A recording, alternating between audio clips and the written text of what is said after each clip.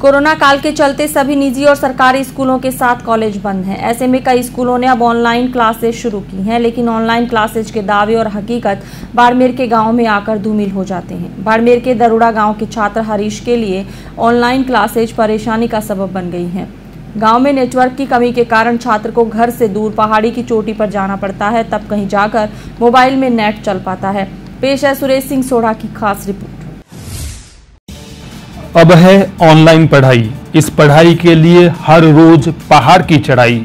फिर भी कई बार नज़र नहीं आती क्लास। बन गई है यह पढ़ाई। जी का जंजाल। यह चंद पंक्तियाँ सरहदी बाड़मेर के एक मासूम के ताज़ा हालातों पर सटीक बैठती नज़र आती है। देश भर में कोविड 19 की महामारी के चलते विद्यालय तालों की जद में हैं और कई विद्यालय ऑनलाइन पढ़ाई करके बच्चों को उनकी कक्षाओं से जोड़ रहे हैं। लेकिन यही ऑनलाइन एजुकेशन सरहदी बाड़मेर जिला मुख्यालय के निकटवर्ती दरूड़ा के भीलों की बस्ती निवासी एक मासूम, हरीश कुमार के लिए जी का जंजाल बन गया है। इस गाँव में मोबाइल नेटवर्क नहीं आता और जवाहर नवोदय विद्यालय का विद्यार्थी होने के चलते क्लास में हाजिर होना भी ज़रूरी होता है। ऐसे में घर के पास स्थित पहाड़ की चोटी के ऊपर टेबल कुर्सी लेकर पढ़ाई करनी पड़ती है। हरीश के मुताबिक ऑनलाइन क्लास में बैठना अनिवार्य है। ऐसे में सुबह सुबह होने वाली हाजिरी से पहले पहाड़ चढ़ना ज़रूरी हो जाता है। बाकी की पढ़ाई पहाड़ पर ही होती है। हम साढ़े आठ बजे यहाँ पहाड़ पर आते हैं पढ़ने के लिए और सर एक पंद्रह तक हमारी छुट्टी हो जाती है। और सर वहाँ पर घर पे बैठते सर नेटवर्क प्रॉब्लम होती है। इसलिए सर यहाँ पर आकर पढ़ना पड़ता है। कौन से स्कूल कौन से स्कूल पढ़ते हो? ऑनलाइन पढ़ते कटबड़ी चल रही है आपकी? सर जवाहर नवोदय विद्यालय जवाहर नवोदय विद्यालय पचपदराम पढ़ते हैं। चल रही है। कितने घंटे तक कितने घंटे पढ़ो क्लास चल रही है आपकी? कंटिन्यू कंटिन्यू चलती रहती है सर साढ़े आठ से लेकर एक पंद्रह तक। एक पंद्रह का फिर ये पहाड़ के ऊपर पढ़ाई पढ़ाई करने का क्या परेशानी- परेशानी कितनी होती है? परेशान परेशानी होती है सर बहुत। नेटवर्क हरीश के पिता वीरमदेव बताते हैं कि गत डेढ़ महीने से सुबह आठ बजे हरीश पहाड़ पर चढ़ता है और क्लास खत्म होने पर दो बजे के करीब वापस पहाड़ से नीचे उतरता है। धूप छांव में हरीश वहीं पढ़ता है और मोबाइल नेटवर्क का ना होना उसके लिए परेशानी का सबब बना हुआ है।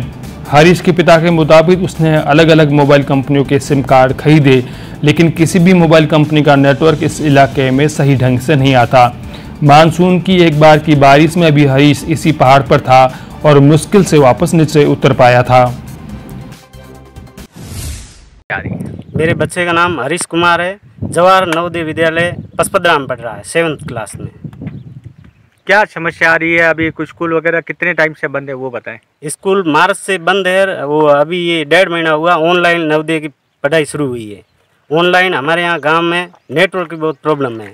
तो इसलिए घर से डेढ़ किलोमीटर ऊपर पहाड़ी पे ले जाके बच्चे को पढ़ाना पड़ता है। टेबल कुर्सी ले जाके ऊपर पहाड़ी पे। नेटवर्क की बहुत प्रॉब्लम चल रही है। कितनी समस्या आ रही है? पहाड़ी पर भी नेटवर्क पूरी आता है या वहाँ भी रुक जाता है? नेटवर्क रुक जाता है। यहाँ भी पहाड़ी पे आते हैं तो भी रुक जाता है। बहुत समस्या आ रही है तो अभी पिछले कितने टाइम से ये रोज का डेढ़ किलोमीटर का सफ़र तय करके पहाड़ों के ऊपर चढ़ के पढ़ाई करनी ये डेढ़ महीने से ये नवोदय की क्लासेस चालू हुई है ऑनलाइन तो डेली डेढ़ महीने से यहाँ लगातार आना पड़ता है। कितनी बार यहाँ आते हैं और यहाँ कितने धूप में गर्मी बरसात में कितनी समस्या होती है? सुबह आठ बजे इनकी क्लासेस शुरू होती है और एक पंद्रह पे छुट्टी होती है।